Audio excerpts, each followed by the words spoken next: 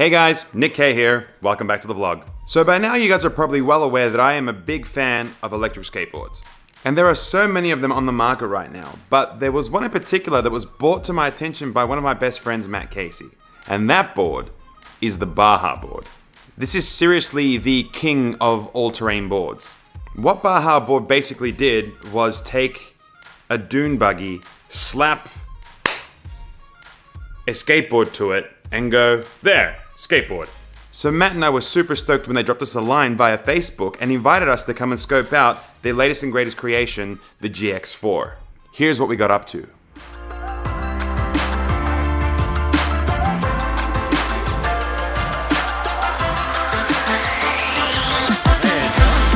I'm Nick Kay, nice to meet you. And that is Matt, indeed. How's it going? Hey.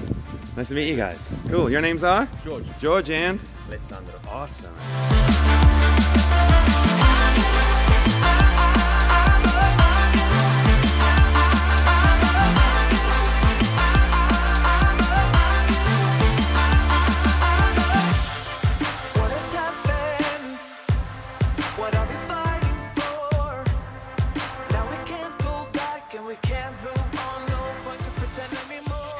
So we're Bajaboard, the B-A-J-A pronounced as the H for the Mexican Baja Peninsula.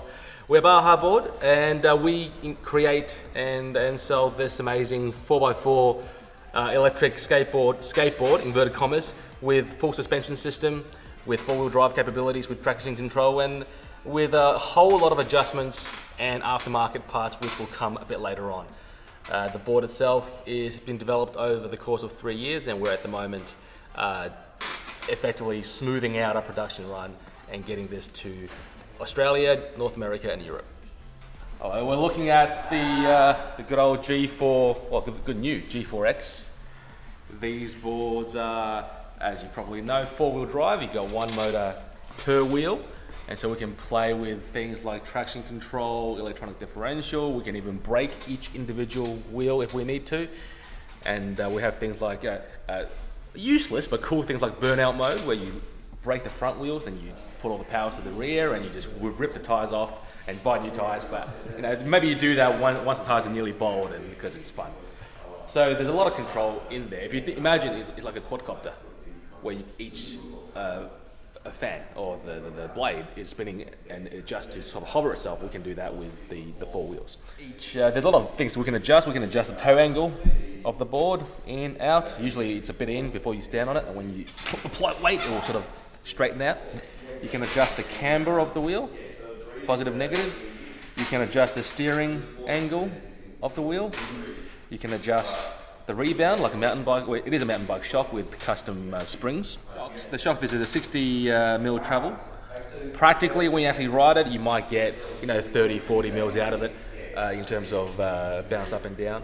And you can make this softer or harder by either replacing the springs, or you can position the uh, the angle of the shock in one notch or out one notch. Imagine you go all the way down to a, um, uh, a, a mountain bike type of type of arrangement where all the compression is adjustable.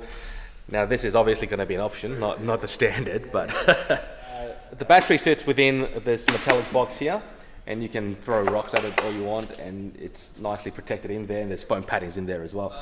So with the four-wheel drive uh, version, the G4X, the battery by default is 900 watt hours. With the two-wheel drive G4, uh, the battery, we do have a smaller option of 600 watt hours, or you can use the uh, 900 as well. And the general range for a board like the four-wheel drive is about 30 k's if you are in the order of 75 kilograms. If you're heavier, maybe 25 to 30. So it's hard to define a specific range, but you know, it, again, it depends on the terrain. If you're riding on the beach, it's going to be different. If you're riding on just a paved road, it's going to be a lot better.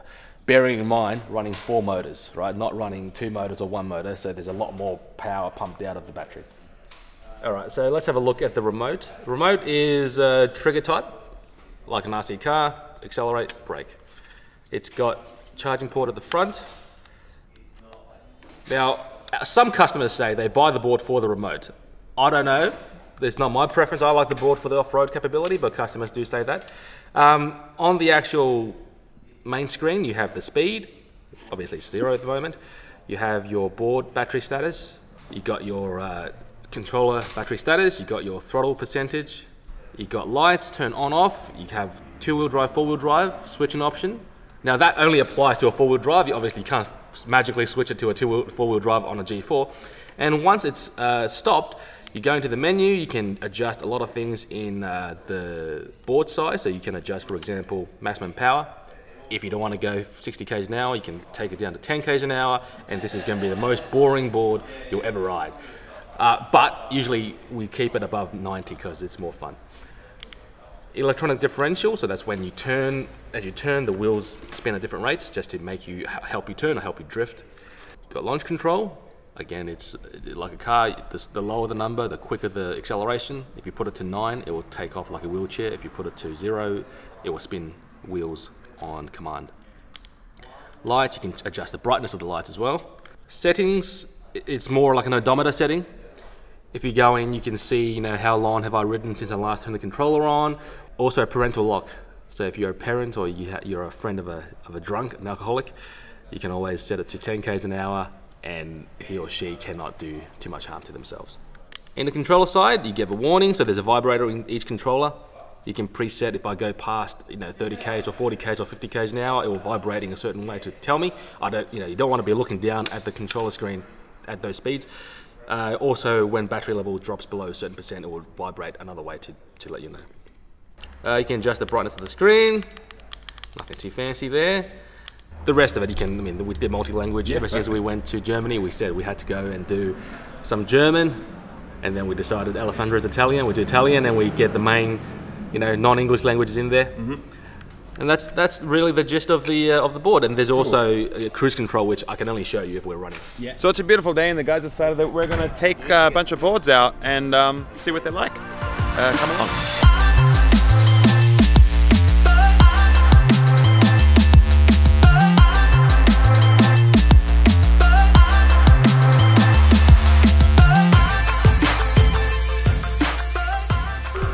All right, we're gonna give it a bit of a bit of a kick in the guts and. Ah, this thing boogies. It brakes beautifully. It's so plush. It just soaks up every single bump. We're just trying to catch Alejandro. He's um, blisteringly fast. So uh, let's see if we can catch him.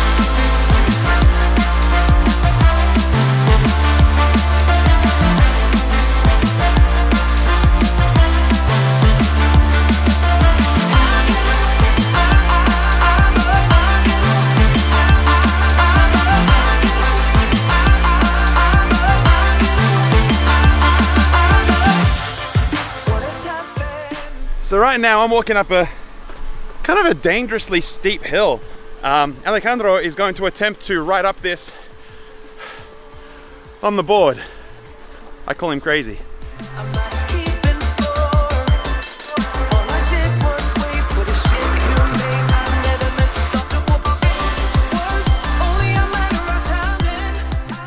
He can't even walk down this, and he just climbed up it and rode down it.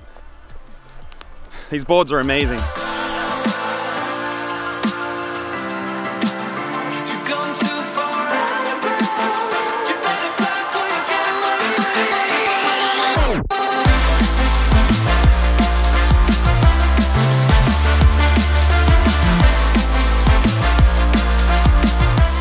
Try out the cruise control.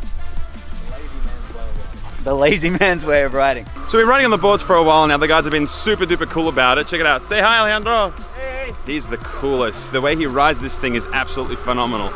A couple of cool points. Um, what don't I like about the board?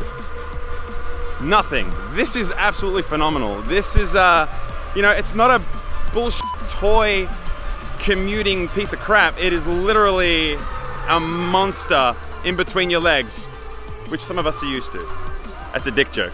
They're just phenomenal. I, they're so capable. Having that 60 mil of travel just flattens everything. All the rolling hills just flattens them out. I, I can't tell you how filled with joy I am on these.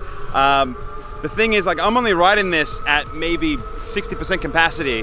Uh, it has the ability to go a whole heap faster, which I'm not going to do because, you know, cameras are expensive. We've probably covered, I reckon, at least seven, eight kilometers, and I'm still and 99% battery on this thing. That alone blew me away. I think one of the biggest fears for anyone riding on like a skateboard in general is, you know, the fear of coming off or hitting things on the road that make it a little uh, scary, and that's totally acceptable. But when you have a board like this, you could run over a school or a nursing home, and I think you'll be fine. The speed, the pickup, the acceleration is phenomenal. I'll give it a. I'm waiting for a little stretch. Here we go. I'll give it a kick. And that is so exhilarating and so quick. The braking is phenomenal. You actually have the ability to adjust how hard you want it to brake as well. So you can have it brake so that it literally throws you off the board. You can have it soften so that when you, if you're the type of person who wants to be very hard on brakes, it's really good. And I think it kind of caters for people who, uh, you know, can adjust it and make changes to the board as they're riding because I ride an Evolve board and I, I love that thing religiously. It's my A to B, I ride it to gigs. But every now and again, a part of me goes like, man, I wish I had a little bit more in it. Uh, this has all that and a bag of chips with some like, some delicious dip. It's fair good.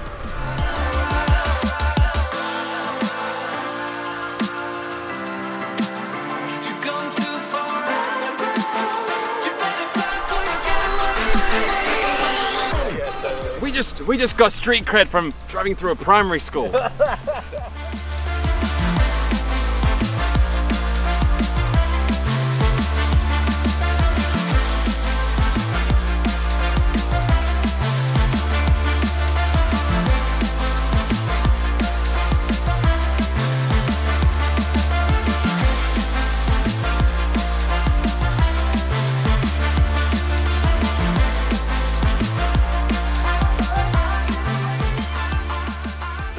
Not- it's not. It's not two, but it's around nine, isn't it? And it's either diamond or hearts. It's not a balance. Is it? Correct. Oh so George is an amateur magician. It's kind of funny. And there you have it. If you want to find out more about the Bajaboard range, there are links in the description below. Thank you guys so much for watching and hope to see you out in the trail. Peace out.